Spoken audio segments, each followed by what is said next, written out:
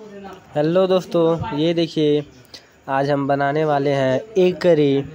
और एक करी बनाने के लिए हम लोग दस अंडा लिए हैं और इस दसों अंडों को हम बॉयल होने के लिए गैस पे रख दिए हैं।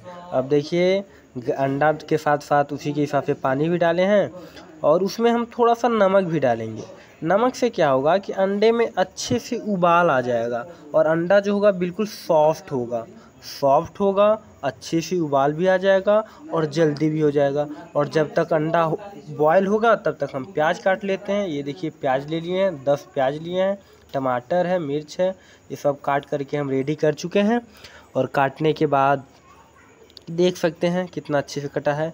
जब तक हम प्याज कटे, काटे, तब तक अंडा भी बहुत अच्छे से बॉयल हो चुका है। अब हम इस अंडे को अच्छे से छील लेंगे। छीलने के बाद देख सकते हैं, कैसा दिख रहा है, कितना शानदार छीलने के बाद इसमें हम थोड़ा सा कट लगा देंगे। कट लगाने से क्या होगा कि अंडा जब फ्राई करेंगे तो अच्छे से हो जाएगा, कोई दिक्कत नहीं होगा। अंडे को फ्राई कर लेंगे, कट लगाने के बाद देखिए, तेल रख दिए थे गर्म होने के लिए, उसके बाद अंडा उसमें हम डाल दिए हैं। अंडा अच्छे से फ्राई हो रहा है। फ्राई देख सकते हैं, बिल्कुल शानदार शानदार। ऑयल बिल्कुल एकदम बैल कोल्हू का ऑयल था और उसमें एक फ्राई होता रहा है धीरे धीरे फ्राई हो जाएगा, एकदम शानदार लेवल का होगा। अब देखते हैं एक कैसा बनता है एक करीब एक तरफ़ हम कुकर गैस पे चढ़ा दिए हैं, देख सकते हैं। तेल डाल दिए, मिर्चा डाल दिए। मिर्चा जब तक थोड़ा गर्म हो रहा है, उसके बाद उसमें हम प्याज डालेंगे। प्याज के बाद, प्याज डालने के बाद उसमें हम साथ में ही थोड़ा सा नमक भी, थोड़ा सा नहीं, पर्याप्त मात्रा में स्वादानुसार नमक भी डाल देंगे। नमक डालने से फ़ायदा क्या होगा कि जो प्याज होगा अच्छे से गल जाएगा शानदार लेवल में। देख सकते हैं, लगभग दो से ढाई चम्मच हम नमक डालेंगे, एक चम्मच, दो चम्मच, और ये थोड़ा सा और ढाई चम्मच हम नमक डाल दिए और अच्छे से चला देंगे। हमारा कुछ टाइम बाद देख सकते हैं, प्याज गल चुका है, उसमें हम हल्दी डाल देंगे।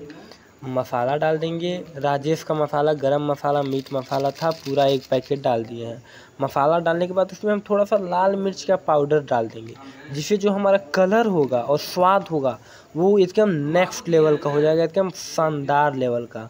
और बाद में हम टमाटर डालेंगे। टमाटर बाद में डालने से फ़ायदा क्या होगा कि जो हमारा ग्रेवी बनेगा, बिल्कुल शानदार बनेगा, स्वाद अलग हो जाएगा। साथ में ही डालेंगे तो थोड़ा उतना स्वाद अनुसार नहीं होगा। देख सकते हैं कितना शानदार हो रहा है। फ्राई होने के बाद, सब कुछ होने के बाद अंडा हमारा तैयार है। देख सकते हैं क्या शानदार, लाजवाब ग्रेवी दिख रहा है। एकदम मज़ा आ जाएगा खाने में, क्या ही बताना। ऐसे ही आप लोग घर पे बना के ट्राई करिए। बनाने के बाद अब हम इसको हम सर्व करते हैं।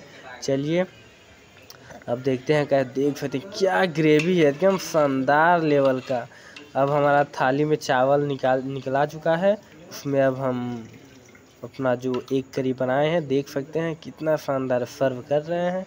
सब दो दो अंडे, वाह, क्या गजब। तो दोस्तों, अगर वीडियो अच्छा लगा हो तो वीडियो को लाइक करें, हमारे चैनल को फॉलो करें, यूट्यूब पे हैं तो सब्सक्राइब करें। धन्यवाद।